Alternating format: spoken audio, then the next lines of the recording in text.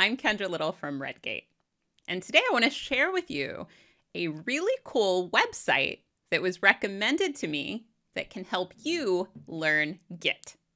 Now, just to be really clear, this is a website that was not built by Redgate. This is a recommendation for a website built by Peter Cottle.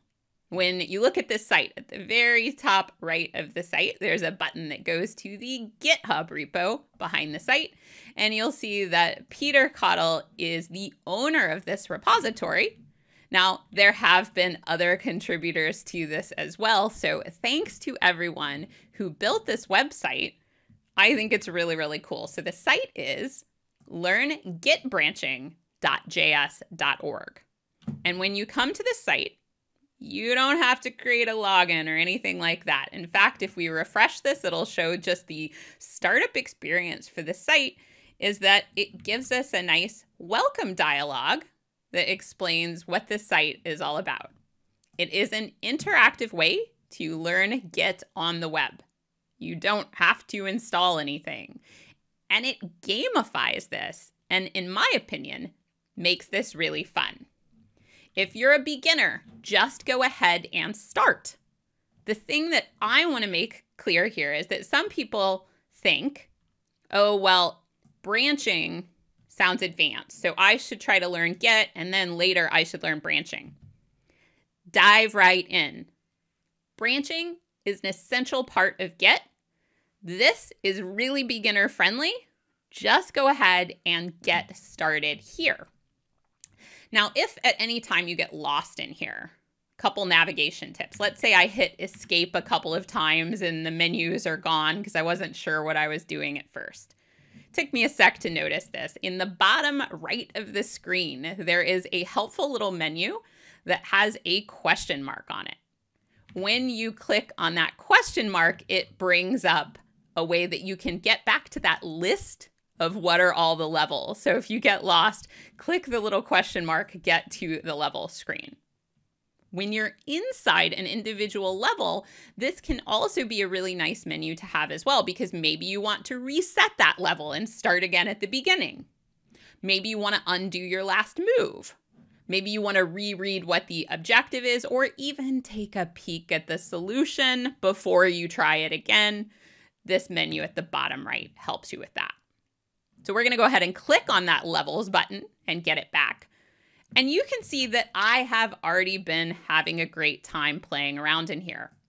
Just to show you a little taste of how this works and to encourage you to go ahead and get started, we're going to go ahead and do level number one together here. You can redo levels, that's totally fine.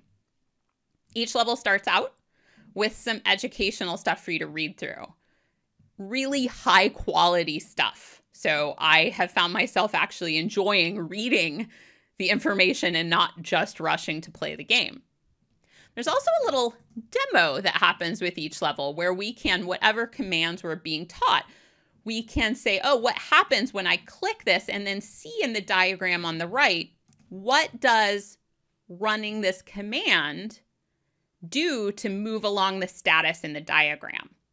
I think this is another really useful thing about this interactive module is not only does it help you learn to use Git, it also gets you used to looking at diagrams of Git and understanding okay, what does it look like to have these commits mapped out? What does it look like if we have branches? That's also really useful as you're building your skills and you're looking at blog posts and books and information about Git around the web there will be a lot more diagrams. So getting used to the diagrams, also a really useful skill to build.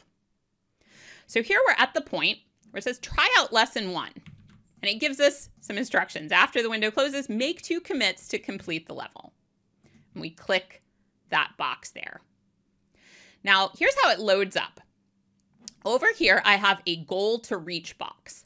I can drag that around to make everything a little more usable. And this goal to reach is showing me this diagram in the middle. I need to make this look like the goal to reach. Over here on the left, I've got my terminal. It automatically has shown me some hints. Just type in git commit twice to finish, right? And it actually has some commands it's run here in terms of showing that goal box. So I'm to I'm to make a mistake first here. What if I just type git? Ah. Well, I just typed git. I didn't actually give it the full command. And what I got here was I got some usage information. Let's let's scroll up there and then resume a little bit. I got some usage information about git there about the different commands that git has. Okay, well, let's try again. Let's try git commit. Ah, okay, that did move this along. Now it drew another commit and added that on there, and we're getting closer and closer to the goal. I also noticed that it added this command into my history here. In this left bar, we can scroll up and scroll down. We can see all of the commands that have been typed here along the way.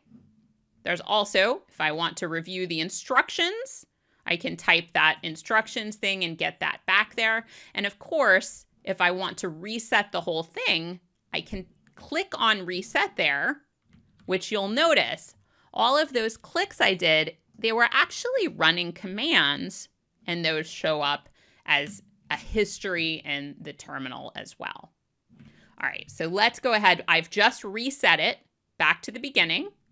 I still have this goal of making it look like this over here. So I'm going to type git commit. I get one commit, and then I'm going to hit arrow up. Just like terminal editors, if I hit arrow up, it will bring up the last thing I typed, which I can edit if I want. In this case, I'm just going to go ahead and hit enter to run the same thing again.